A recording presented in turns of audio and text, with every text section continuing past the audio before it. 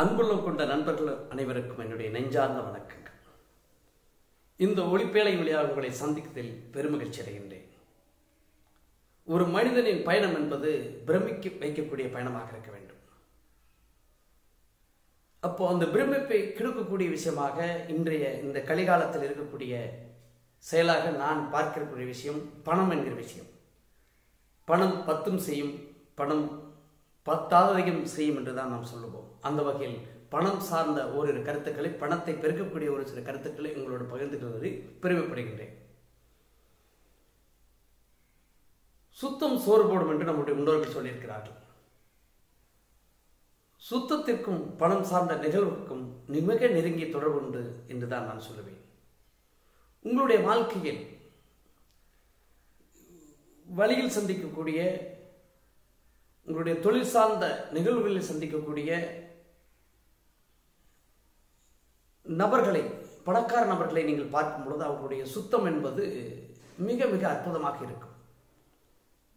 அவர்களுடைய நிறங்களை நீங்கள் ஒதுக்கி தொல் ஒதுக்கி வைத்துக் கொள்ளுங்கள். அவர்கள் கருப்பாக இருக்கலாம் சிவப்பாக இருக்கலாம் அழகாக இருக்கலாம் அழகு குறைந்து கூட இருக்கலாம். ஆனால் அவங்களுடைய சுத்தம் என்பது ஒரு பார்க்கக்கூடிய அவங்களை பார்க்க பார்ப்ப பார்ப்பதற்கு எண்ணத்தை தூண்டக்கூடிய விஷயமாக அவருடைய நடை உடை பாவனைகள் இருக்கும்.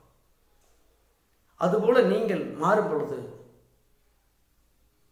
மாற வேண்டும் என்று அதாவது சொல் நம்முடைய முன்னோர்கள் சொல்லியிருக்கார்கள் கந்தையானாலும் கசைக்கிட்டு என்று சொல்லியிருக்காங்க அப்போ சுத்தமாக நீங்கள் உடை அணியும் பொழுது ஒரு சுத்தமாக ஒரு மனம் வீசக்கூடிய ஒரு உடையை நீங்கள் அணியும் பொழுது உங்களுடைய வாழ்க்கையில் பணம் என்பது எளிதாக உங்களை நோக்கி ஒட்டிக்கொள்ளும். அதே போல இரண்டாவதாக ஒரு விஷயத்தை நான் சொல்வேன். உங்களுடைய பணம் வைக்கக்கூடிய பைகள் இருக்கிறாரா மணி பர்ஸ் என்று சொல்லக்கூடிய அதில் வந்து பணத்தை மட்டுமே வைக்க வேண்டும். அதை சீராக அடுக்கி அழகாக வைக்க வேண்டும். இன்றைக்கு ரெண்டாயிரம் ரூபாய் தாள்களை முதலாகவும் அதற்கடுத்த ஐநூறு ரூபாய் தாள்களை இரண்டாவதாகவும் அதற்கடுத்து நூறு ஐம்பது அதே போல் இருபது பத்து ஐந்து இது போல் நீங்கள் அடுக்கி வைக்க வேண்டும். முடிந்த அளவுக்கு சில்லறை ரூபாய்களை நீங்கள் ஒரு தனியாகவும் அல்லது அதை எடுத்து வைக்காமலும் அதிகமாக இரண்டாயிரம் ரூபாய் நோட்டுகளையும் ஐநூறு ரூபாய் நோட்டுகளையும் நீங்கள் வைக்கும் பொழுது பணம் சார்ந்த நிகழ்வில் வந்து அது சார்ந்த ரூபாய்களை உங்களை நோக்கி உங்களை நோக்கி சேர்ந்து கொண்டு வரும் என்கிறது தான் அந்த இடத்துல ஒரு சொல்லக்கூடிய ஒரு செய்தி. அடுத்ததாக உங்களுடைய இல்லங்களில் வந்து எந்த இடத்திலும் குப்பை கூலங்கள் இல்லாமல் பார்த்துக்கொள்ள வேண்டும் இதே தான் சைனா வாஸ்தை என்ன சொல்லுது அப்படின்னு சொன்னால் மூளை பகுதிகளில் ஒரு சுவர் பகுதிகளில் சீ சக்தியின் ஆதிக்கம் அதிகமாக இருக்கிறது என்று சொல்வார்கள். அது வேறொன்றும் கிடையாது. நம்ம வீட்டில் ஒரு ஒரு சுவர் இருக்குன்னு சொன்னால் சுவரும் அந்த மேல்தளம் சந்திக்கக்கூடிய பகுதியிலும் இரண்டு சுவர்கள் அது கிழக்கு அல்லது தெற்கு அல்லது வடக்கு அல்லது கிழக்கு அல்லது மேற்கு அல்லது தெற்கு சார்ந்த மூளைப்பகுதியில் சந்திக்கக்கூடிய சுவர்களின் அந்த மூளைப்பகுதியில் கார்னர் என்று சொல்லக்கூடிய இடத்துல குப்பை கூலங்கள் அதிகமாக இருக்கும். அந்த இடத்துல ஒட்டடைகள் அதிகமாக பிடித்திருக்கும். நீங்கள் பார்த்தீர்களா? தெரியும். அப்போ இந்த இடங்களில் மாதம் ஒரு முறையாவது அந்த ஒற்றைகளை நீங்கள் ஒட்டடைகளை அடித்து விட வேண்டும். அடுத்ததாக மிக மிக முக்கியமாக இது பணத்திற்கும் ஒரு பணத்தை ஒரு சேரக்கூடிய ஒரு விஷயத்தில் முதன்மை பங்கு வகிக்கிறது என்று தான் சொல்வேன்.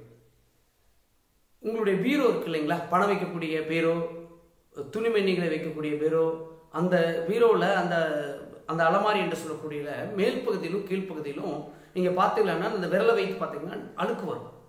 டஸ்ட்டுகள் வரும். நீங்கள் விரலை வச்சு இழுத்தீங்கன்னாவே ஒரு அழுக்கு வரும். அந்த மாதிரி ஒரு அழுக்கு இல்லாத உங்கள் பீரோவை எப்பவும் நீங்கள் மெயின்டைன் பண்ணணும். அது ஒரு சில இல்லங்களில் பார்த்தீங்கன்னா என்னுடைய வாஸ்து பயணங்களை நான் பார்த்துருக்கேன். பீரோவோட அடிப்பகுதியில் குப்பைக்கு தேவையில்லாத பொருட்களை வந்து செருகி வைத்திருப்பார்கள். அதுவும் வந்து தேவையில்லாத விஷயம். செருகி வச்சிருக்கிறத பார்த்தீங்கன்னா ஒரு வருஷம் ஆனால் கூட அவங்க வந்து அதை எடுக்க மாட்டாங்க. இதுவும் அவங்களுடைய வாழ்க்கை பயணத்தில் பணத்தை வந்து ஈர்க்கக்கூடிய செயலை பணத்தை இங்கு வந்து தங்கும் என்று சொன்னால் அந்த பீரோவில் தான் அந்த பணம் தங்கும். அந்த தங்கக்கூடிய இடத்தை நம்ம வந்து ஒரு சுத்தம் இல்லாது தங்கும் நிலையை நம்ம தடுக்கும் செயலாக ஒரு சில செய்திகளை நாம் செய்யும் பொழுது அந்த இடத்தில் பணம் என்பது பெருகக்கூடிய தன்மைக்கு எதிர்வினையாக போய்விடும். ஆகவே நீங்கள் சுத்தம் என்பது மிக மிக முக்கியம். அடுத்ததாக சுத்தம் செய்யக்கூடிய பொருள்கள்ங்கிறது ஒரு பொருள்களை நம்ம வந்து வீட்டில் வச்சிருப்போம். ஒட்டடை அடிக்கிறதுக்காக ஸ்டிக் போன்ற குச்சிகளை வைத்திருப்போம். இன்னைக்கு அந்த காலத்துலலாம் வந்து துணியால தான் வீட்டை வலிச்சாங்க. இன்னைக்கு வந்து ஸ்டிக் கொண்டு அப்படியே நின்றுட்டே வலிக்கிறாங்க. நம்ம பெண்களாகட்டும் ஆண்களாகட்டும் நின்றுட்டு தான் வலிக்கிறாங்க. ஆண்களாகட்டும் சொன்னால் ஆண்களும் வந்து சுத்தம் செய்யக்கூடிய இடங்கள் தொழிலகங்களும் ஆண்களும் சுத்தம் செய்யக்கூடிய இடங்கள் இருக்கின்றன. அப்போது தொழிற்சாலைகளாக இருந்தாலும் சரி ஒரு அலுவலகங்களாக இருந்தாலும் சரி இல்லங்களாக இருந்தாலும் சரி அந்த சுத்தம் செய்யக்கூடிய ஸ்டிக் போன்ற பொருள்களை வந்து நம்மளுடைய கண் பார்வையில் பார்க்காத பார்க்க முடியாத இடங்களில் வைப்பது தான் சிறப்பு. அடுத்ததாக கழிவறைகளில் நான் வந்து சில பயணங்களில் வாஸ்து பயணங்களில் போகும் பொழுது ஒரு சில விஷயங்களை நான் கவனிப்பேன். அந்த வகையில் இதெல்லாம் வந்து ஒரு சின்ன சின்ன விஷயங்கள் இதுவரை சொல்லணும். இதுவை இப்போ சொல்லக்கூடிய விஷயம் மிகப்பெரிய விஷயம். இப்போ நீங்கள் கழிவறைகளில் வந்து ஒரு கழிவறைக்கு உள்ளே போகிறீங்கன்னு சொன்னால் அந்த கழிவறை வாசல் இருந்து நீங்கள் உள்ளே செல்லும் பொழுதே அந்த கழிவறையின் அந்த பீங்கான் இந்த கழிவறை உட்காரக்கூடிய அந்த சிட்டிங் பொசிஷன் இருக்கு இல்லைங்களா? அந்த பீங்கான் வந்து நம்முடைய கண் பார்வையில் நேரடியாக வாசலில் படக்கூடாது. அது ஒரு மறைமுகமாக ஒதுக்குப்புறமாக இருந்தால் சிறப்பு. இப்போ ஏற்கனவே அமைச்சதுக்கு நம்ம ஒன்றும் பண்ண முடியாது. அது பெரிய அறைகளாக இருக்கணும் ஒரு தடுப்பு சூழலை ஏற்படுத்தலாம். இதே வந்து புதிதாக நம்ம வந்து வாஸ்தம்பில் செய்யும் பொழுது அது மறைமுகமாக நேர்பார்வையில் படாத அமைப்பது மிக மிக சாலச் சிறந்தது இந்த மாதிரி ஒரு சில விஷயங்களை உள்ளத்தில் நீங்கள் கடைபிடிக்கும் பொழுது உங்களுடைய உங்களுக்கு உங்களுடைய வாழ்க்கை பயணத்தில் பணம் என்பது தன்னிறைவு பெறக்கூடிய விஷயமாக இருக்கும். மீண்டும் வேறொரு வாசு சார்ந்த கருத்துக்கள் வழியாக உங்களோடு சந்திக்கிறேன். நன்றி வணக்கம்.